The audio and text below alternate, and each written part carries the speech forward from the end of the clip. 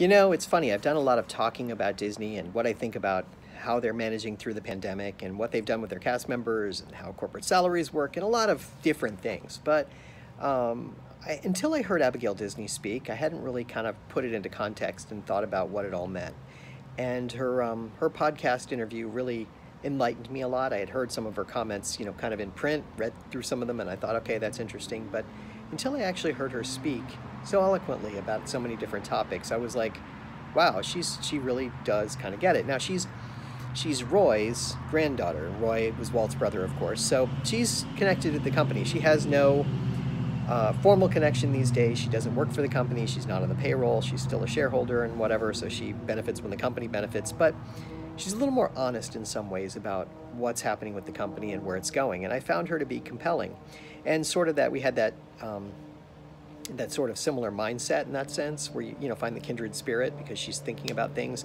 I think about the legacy of the company. She's thinking about obviously her own legacy and the legacy of the company. And the interview is really interesting. So I really do recommend that you go out and you listen to the KR, KCRW uh, interview in the business podcast. It's really good. I'll link it below. And um, of course, it's it's really pretty good stuff. And she's an interesting person. And you know, now that I've found out how uh, thoughtful she is on a lot of topics, I've started listening to her podcast too because I think it's really pretty interesting. She's got a lot going on and a lot of things to say, and I find that fascinating. Um, you know, I just when you when you hear from someone that you know has that connection and has that uh, interesting perspective, I, I, thought it was really neat, um, and um, I really look forward to hearing more from her. Now, as far as like, you know, everything that she said, I don't agree 100% with everything she said, but the spirit of what she's saying is spot on, and I think it's in the right in the right vein. Um, you know, the companies need to be kind of uh, brought back under control to a large degree.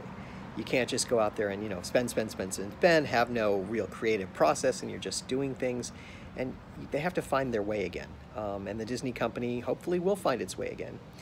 Uh, at some point, they'll fully reopen and get back to business, but it doesn't mean that it's going to be the same business that we saw before, as we know.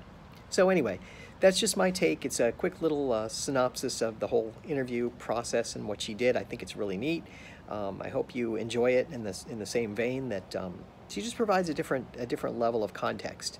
Um, having been connected to the company and seeing it through her eyes is kind of enlightening in a way. So that's, uh, that's it. I just wanted to share that with you. I hope you enjoy that.